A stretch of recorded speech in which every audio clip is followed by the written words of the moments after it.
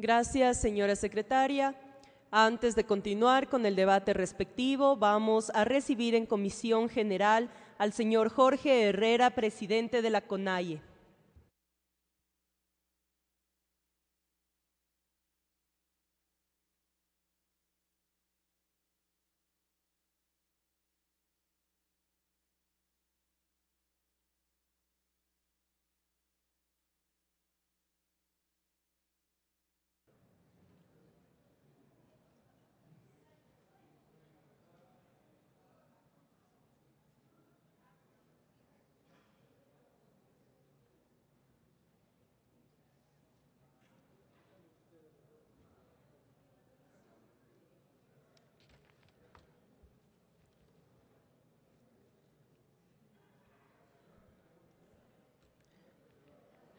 Buenas tardes con todos los asambleístas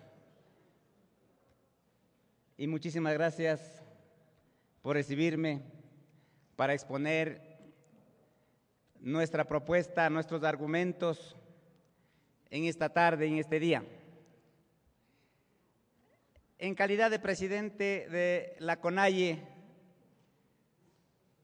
me hago presente para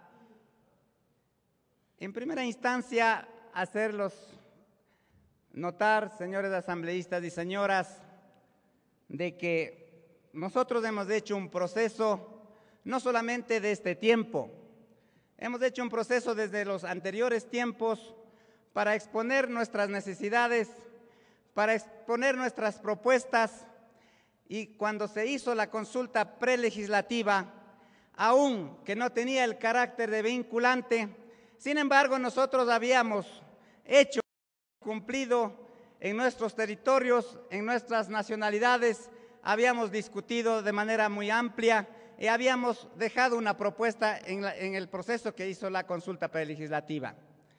Ahora esperamos, esperamos simplemente de que la ley tenga el carácter de vinculante, que significa que se plasme las propuestas, que se plasme los pedidos de nuestras realidades, de nuestras comunidades.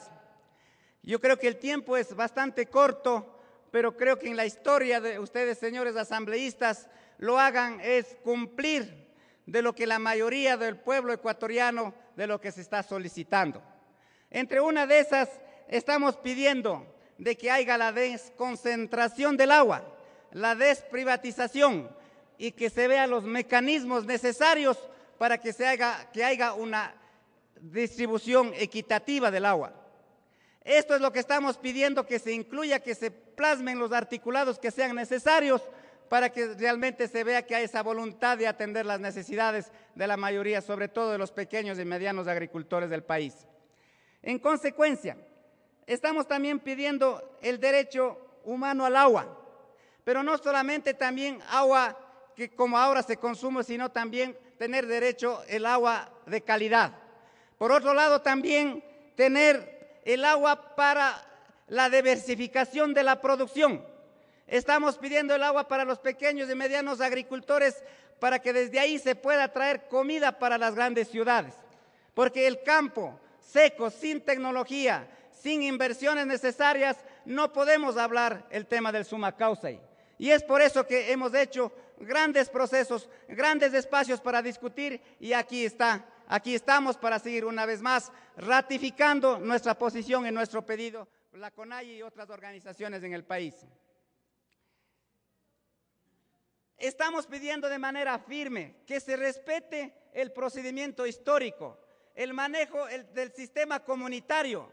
El agua no es que solamente estos tiempos se está haciendo un trabajo en las comunidades lo estamos haciendo durante mucho tiempo, las construcciones que se han hecho en las comunidades, ahora más que en otros tiempos, lo estamos manejando con normas propias, con procedimientos que sean leales, que se haga, digamos, una equitativa de distribución del agua a nivel interno de las comunidades, y eso es lo que justamente queremos que respeten, que, se respete en este caso el procedimiento que se hace a nivel de las comunidades de base y en el país a nivel nacional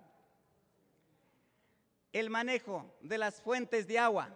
Es importante que se tenga un fondo del agua, porque no solamente se puede pensar en el líquido vital de ahora, lo que también hay que garantizar es que haya recursos necesarios para conservar los páramos, para, para garantizar el agua para, este, para esta vida y para los otros que vienen a futuro, que se pueda tener el agua en bien del país. El Consejo Plurinacional. No está bien, señoras y señores asambleístas, de que solamente sea una instancia consultiva. Lo que queremos es que los actores principales, los actores donde, tiene que ver en este tema de la decisión principal, no sean solamente una instancia consultiva, sino tengan también el derecho de tomar las decisiones en estas instancias que es de importancia vital para todo el país.